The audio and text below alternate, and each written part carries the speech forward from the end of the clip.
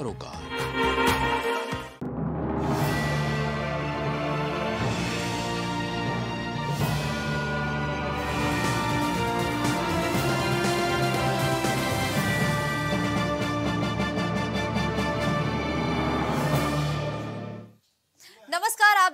Prime TV और मैं हूँ आपके साथ मुस्कान अजमानी रुक करते हैं यूपी की बड़ी खबरों की ओर। खबर कानपुर से है, जहाँ बिकरू कांड में दोषी पाए गए छह इंस्पेक्टर, पंद्रह दारोगा और दो हेड कांस्टेबल के साथ ही चार कांस्टेबल पर कार्रवाई हुई है। तत्कालीन एसओ और हल्का इंचार्ज को बर्खास्त करने के साथ ही 26 अन्य पुलिसकर्मियों को भी दंडित किया गया है। बता दें कि बिकरू गाँव में 2020 को दबिश देने गई पुलिस टीम पर कुख्यात विकास दुबे ने अपने साथियों के साथ हमला कर दिया था, जिसमें सीओ समेत आठ पुलिसकर्मी शहीद हो गए थे। दोषी पुलिसकर्मी की जाँच कमिश्नरी पुलिस को सौंपी गई थी और तत्कालीन एसओ विनय तिवारी और हल्का इंचार्ज के के शर्मा को एडिशनल एसपी मुख्यालय ने बर्खास्त किया था और अन्य पुलिसकर्मियों पर मिसकंडक्ट की कार्रवाई की गई है। इस खबर पर ज़्यादा जानकारी के लिए हमारे सहयोगी उपेंद्र हमारे साथ जुड़े हैं। उपेंद्र बिकरू का कांड पूरे प्रदेश का 2020 का चर्चित कांड बना था, जिस पर अब एक बार फिर से कार्रवाई की गई है। क्या कुछ है ये कार्रवाई और एसआईटी की जाँच में क्या कुछ सामने आया है? जी, आप बता दें कानपुर बिक्रू कांड जो हुआ था, दो हज़ार बाईस में, बीस में सॉरी उसको देख कर देखा, विकास दुबे की हत्या को लेकर के जो एनकाउंटर इसमें मुठभेड़ हुई थी, उस मुठभेड़ में लेकर के जो बीस, छब्बीस पुलिस कर्मी थे, जिसमें पंद्रह दरोगा छह इंस्पेक्टर थे, और दो हेड कांस्टेबल और चार कांस्टेबल जो है, इन पे एसआईटी की टीम ने जाँच बैठा दी थी। इसको ले, कहीं ना कहीं देखा है तो जो दोषी पुलिसकर्मी है, उसकी जाँच हुई कानपुर पुलिस जो है, उनको रिपोर्ट सौंप दी गई है, और तत्कालीन एस विनय कुमार जो थे, जो के के शर्मा जो एडिशनल एसपी मुख्यालय उनको बर्खास्त कर दिया गया था और बात की जाए, अगर इसके बाद जो कांस्टेबल और जो एसआई की बात की जाए तो उसको लेकर कहीं ना कहीं पूरी तरीके से जो है पुलिस जो है, वो एक्टिव है और कहीं ना कहीं अगर बात की जाए तो इसके बाद जो है कानपुर पुलिस जो है, इस पर जल्दी जल्दी और कार्रवाई रिपोर्ट आगे तलब करेगी। बिल्कुल, धन्यवाद उपेंद्र हमारे साथ। जुड़ते हुए इस खबर पर तमाम जानकारी साझा करने के लिए। खबर प्रयागराज से है, जहाँ हंडिया तहसील क्षेत्र के बुनवापुर किराव गाँव में कैबिनेट मंत्री नंद गोपाल गुप्ता नंदी पहुँचे। जहाँ कैबिनेट मंत्री ने टॉपर छात्रा नंदनी बिंद को सम्मानित करते हुए उसकी हौसला अफजाई की, बता दें कि कैबिनेट मंत्री टॉपर छात्रा के घर पहुँचे थे और ग्राम प्रधान की मौजूदगी में टॉपर छात्रा को सम्मानित किया गया।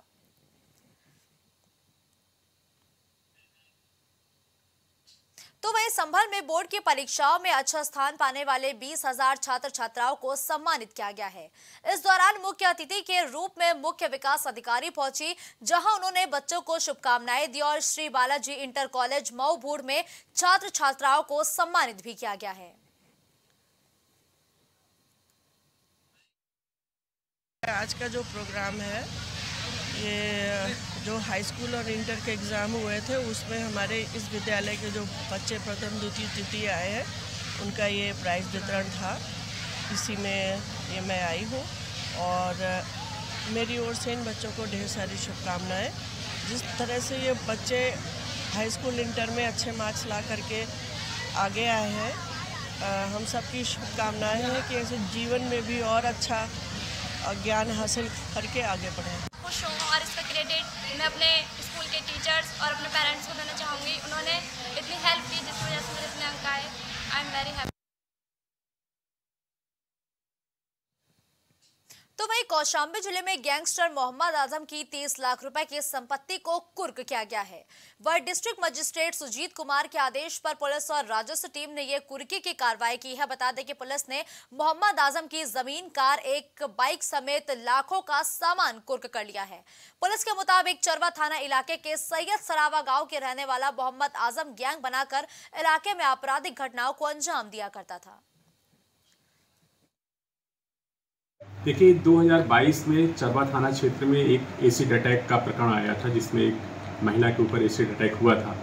उसमें कुल आठ अभियुक्त प्रकाश में आए थे, जिनके विरुद्ध चार्जशीट लगाने के बाद हम लोगों ने गैंगस्टर एक्ट की कार्रवाई करी। उसी गैंगस्टर एक्ट में चौदह ए के अंतर्गत तीन अभियुक्तों को जिनके पास संपत्ति थी, उन्हें उनकी कुर्की की कार्रवाई की गई है। इसमें मोहम्मद आज़म का तीस लाख रुपए का बाग और ज़मीन है इसके अलावा उसका जो एक अन्य सहयोगी है, उसकी अवशाफ है, उसका ब्रेजा गाड़ी और पल्सर गाड़ी है। कुल मिलाकर के सैंतीस लाख बारह हज़ार रुपये की कुर्की की गई है।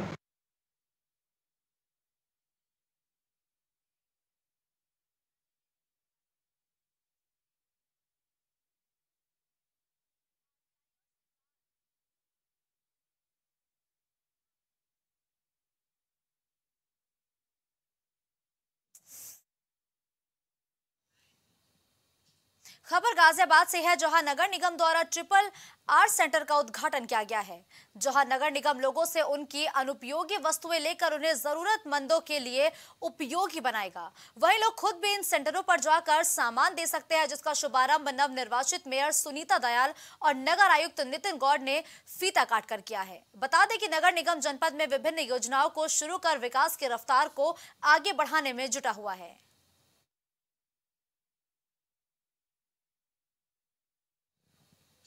खबर बाराबंकी से है, जहाँ पाँच रुपए की कॉपी बीस रुपए की बेचने को लेकर ग्राहक दुकानदार में मारपीट हो गई। साथ ही दोनों के बीच लाठी डंडे भी चले, जिसकी सूचना पर पहुँची पुलिस ने घायल लोगों को सीएचसी उपचार के लिए भेज दिया है। वह दोनों पक्ष के लोगों को पुलिस ने अपने कब्जे में भी ले लिया है और पूरा मामला रामनगर का बताया गया है।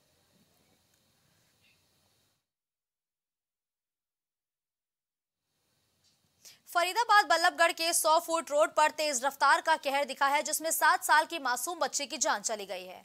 बता दें कि चावला कॉलोनी स्थित कृष्ण कॉन्वेंट प्ले स्कूल से एक माँ स्कूटी पर अपनी दो बच्चों को लेकर घर लौट रही थी। तभी एक पानी के टैंकर ने उन्हें टक्कर मार दी, जिसके चलते तीनों घायल तक हो गए। लेकिन अस्पताल पहुँचते पहुँचते सात साल की बड़ी बेटी जिया ने दम तोड़ दिया, जिसके बाद पुलिस ने बच्चे के शव को पोस्टमार्टम के लिए भेज दिया है। फ़िलहाल पुलिस ने पानी के टैंकर और आरोपी आरोपी चालक को हिरासत में लेकर आगे की कार्रवाई शुरू कर दी है। इसमें जिया है सात साल की। ये स्कूल से आ रही थी उसकी चाची उसको स्कूल से लेके आ रही थी इलेक्ट्रिक स्कूटी पे। इधर से कैंटर आ रहा था सो सोपुट रोड से और उनकी टक्कर होगी टक्कर लगने से वो घायल हो गए। वो बच्ची जो थी वो बड़ी बच्ची वो एक्सपायर हो गई। नाम क्या तुम्हारा? मोहित। मोहित जो बच्चे थे वो क्या लगते हैं आपके? बहन थी मेरी। बहन थी। कितनी उम्र थी बहन की? बहन की जो खत्म हुई वो सात साल थी उससे छोटी वाली पाँच साल की थी। कहाँ से कहाँ से आ रही थी? स्कूल से छुट्टी हो रही थी चाची उन्हें घर ला रही थी। किस चीज़ पे? बैटरी वाली स्कूटी पे। स्कूटी पे। तो अब फ़िलहाल कहाँ है वो जो हुआ एक्सीडेंट हुआ कहाँ है एस एस बी में इमरजेंसी वार्ड में। कैसी कंडीशन है फ़िलहाल बच्चों की? और बड़ी वाली बहन तो एक्सपायर हो गई। कितनी उम्र थी बच्चे की? सात साल। क्या नाम था? दोबारा कर दिया। क्या नाम था? जी हाँ जी हाँ। छोटी बच्ची का? जानवी। कितनी उम्र थी उसकी? उसकी पाँच साल थी। छोटी वाली की कंडीशन कैसी है? वो सही है वो बच गई। खबर सुल्तानपुर से है, जहाँ विधायक के पशु बाज़ार पर प्रशासनिक अधिकारियों की रेड पड़ी है। शहर से सटे पंचो पीरन कस्बे में इसौली विधायक ताहिर खान के पशु बाज़ार पर एसडीएम सदर और नगर कोतवाली ने छापे मारा है। वही पिकअप में लदी लगभग तिरालीस मवेशियों को द्वारकागंज चौकी पर भेजा गया तो वही दूसरी ओर विधायक के भाइयों का आरोप है की बाज़ार में मौजूद व्यापारियों को पुलिस ने दौड़ा दौड़ा कर पीटा है। इसी के साथ विधायक ने भी लाइसेंस जारी करने के लिए एसडीएम और कोतवाल पर लाखों रुपए घूस मांगने का भी आरोप लगाया है। हमारे अधिकारी हम लोगों को हम अपनी वाइफ को दिखाने गए थे तो पता चला कि जो है एसडीएम महोदय और कोतवाल सीओ साहब आए हैं। इन्होंने जो है कोतवाल साहब वगैरह ने जो है आके पूरी तरीके से जो है यहाँ पे दहशत दहशत का माहौल हो गया था। नहीं इस बात की शिकायत थी सुबह यहाँ पशु बाज़ार लग रही है और जिसके लिए अधिकृत रूप से अनुमति प्राप्त नहीं की गई है। इस शिकायत के आधार पर यहाँ पे जाँच की गई। ये पाया गया कि इसका लाइसेंस जो बाज़ार का था, ये इक्कीस मार्च को खत्म हो चुका है। उसके बाद अभी लाइसेंस रिन्यू हुआ, नहीं हुआ है जिस पर अनधिकृत रूप से बाज़ार लगाई जा रही थी, जिसके आधार पर जाँच की गई है। और जो भी तथ्य हैं उसको संज्ञान में लिया गया है, जाँच के तथ्य भी संज्ञान में लिए गए हैं सर और जो भी विधिक कार्रवाई है, वो की जाएगी इसमें। खबर कानपुर से है जहाँ पान और चाय की दुकान के साथ चौराहे पर अड्डेबाजी करने वालों की अब खैर नहीं है। एंटी रोमियो स्क्वाड शहर के स्कूल, कॉलेज, कोचिंग सेंटर के आसपास बने चौराहों पर अभियान चलाएगा। वहीं चौराहों पर बनी चाय की दुकान, पान शॉप और पुलिस औचक निरीक्षण भी करेगी। साथ ही वहाँ पर मौजूद लोगों से पूछताछ भी की जाएगी और शहदों पर नकेल कसने के लिए इस अभियान की शुरुआत की जा रही है। वही joint police commissioner Anand Prakash Tiwari ने भी बताया कि महिला अपराध रोकने और मिशन शक्ति मुहिम के तहत अभियान की शुरुआत की जा रही है। चराहों के पास पुलिस की खास नज़र भी रहेगी।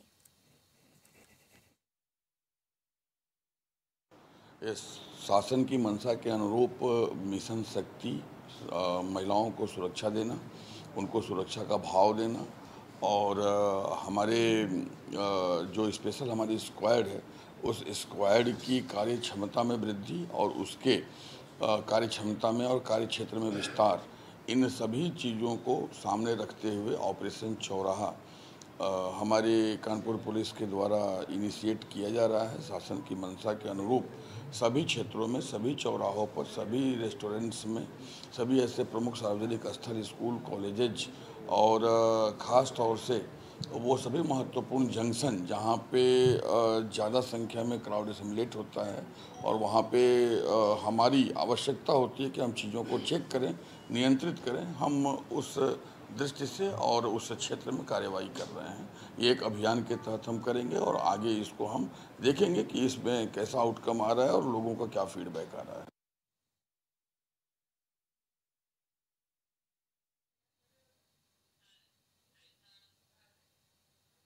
तो वहीं दिल्ली यूपी बॉर्डर पर पुलिस द्वारा लगाई गई बैरिकेडिंग की वजह से लंबा जाम लगा हुआ है।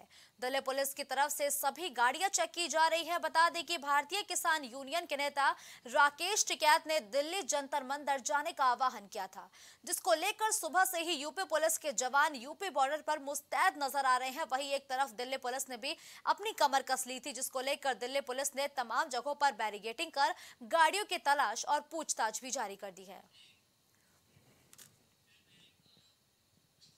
खबर सुल्तानपुर से है, जहाँ दो दिन पहले फायजा हॉस्पिटल में फिर एक मरीज़ की मौत हो गई थी।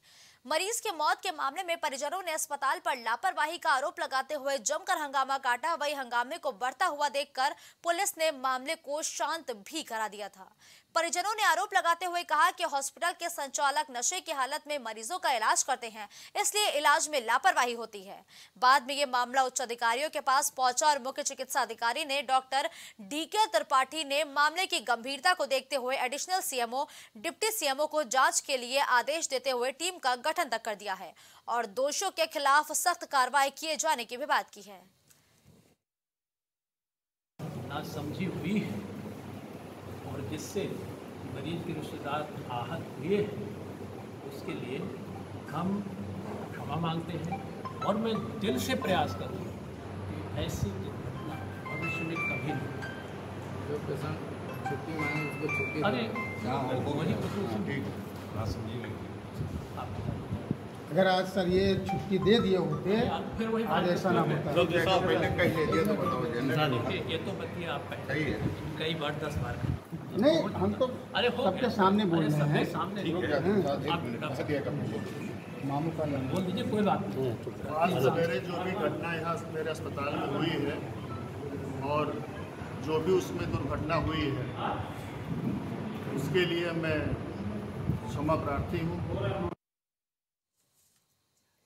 इस खबर पर ज़्यादा जानकारी के लिए हमारे सहयोगी आशुतोष हमारे साथ जुड़े हैं। आशुतोष, सुल्तानपुर में जिस तरीके से फायजा अस्पताल पर ये कार्रवाई की गई है, क्या कुछ था ये पूरा मामला जिस पर ये एक्शन हुआ है? जी, बिल्कुल आपको बता दें, ये फ़ायदा हॉस्पिटल का दो से तीन बार जो है इस पे हादसा हो चुका है। इसकी कुछ ज़्यादा अधिक जानकारी के लिए जो है, यहाँ का सीएमओ जो है जाँच का विषय बना रही है और जाँच के मुताबिक जो भी यहाँ पे नेटवर्क जो पाया जाएगा, उसी को लेकर कठोर कार्रवाई की जाएगी और यहाँ का जो है इसको लेकर हॉस्पिटल को जो है सील भी किया जाएगा। बिल्कुल, धन्यवाद आशुतोष इस खबर पर हमारे साथ जुड़ते हुए दर्शकों तक तमाम जानकारी पहुँचाने के लिए।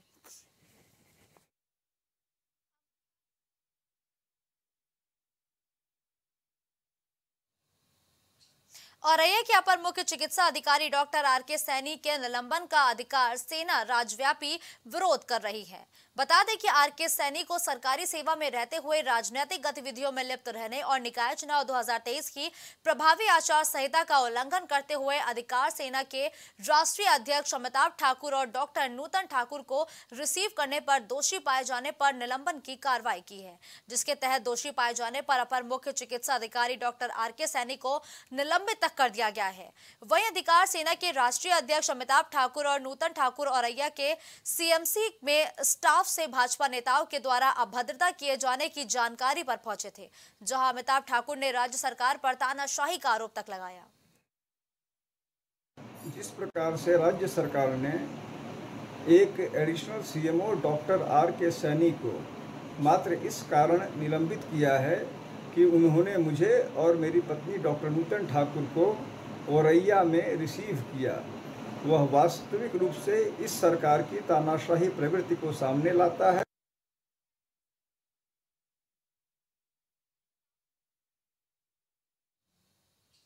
प्रयागराज के कुराव तहसील में वकीलों ने संपूर्ण समाधान दिवस का बहिष्कार किया है। वकीलों के बड़े समूह ने संपूर्ण समाधान दिवस का बहिष्कार किया है। साथ ही वकीलों ने यह भी कहा है कि जब तक उनकी मांग पूरी नहीं होगी, तब तक वो अपनी आवाज़ उठाते रहेंगे। जानकारी मिले कि ज़िले में पुलिस कमिश्नरेट लागू होने के बाद कुराव तहसील के लोगों को जमानत कराने के लिए मेजा एसीपी कार्यालय में जाना पड़ता है। वकीलों का कहना है कि कुराव तहसील में ही जमानत मिले। जब से पुलिस कमिश्नरेट लागू हुई है तो खीरी थाने के लोगों को कौंधियारा पचास किलोमीटर जमानत कराने के लिए जाना पड़ता है और कोराव थाने वालों को मेजा जाना पड़ता है। एसीपी मौके पर उपस्थित नहीं मिलते तो नौ साढ़े नौ बजे रात बेल वहाँ प्रस्तुत की जाती है। वादकारियों को बहुत बड़ा नुकसान हो रहा है।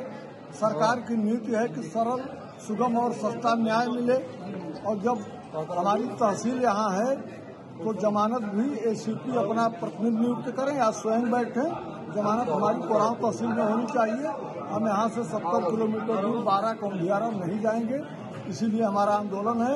हम शांतिपूर्ण तरीके से, गांधीवादी तरीके से लोकतांत्रिक ढंग से आंदोलन कर रहे हैं और हमारी लड़ाई तब तक जारी रहेगी जब तक कोराव तहसील में जमानत सुनिश्चित नहीं की जाएगी। खबर गाजियाबाद से है, जहाँ राजनगर एक्सटेंशन में कूड़े के गोदाम में भीषण आग लग गई, जिसके बाद मौके पर कई फायर ब्रिगेड की गाड़ियाँ पहुँची। वहीं फायर ब्रिगेड की गाड़ियों ने कड़ी मशक्कत के बाद आग पर काबू पा लिया है।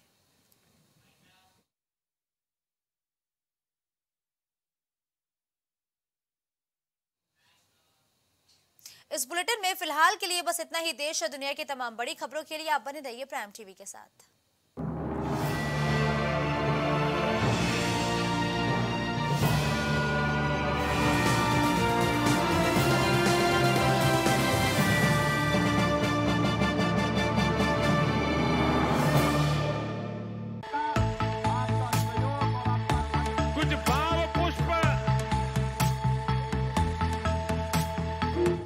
देख रहे हैं प्राइम टीवी सच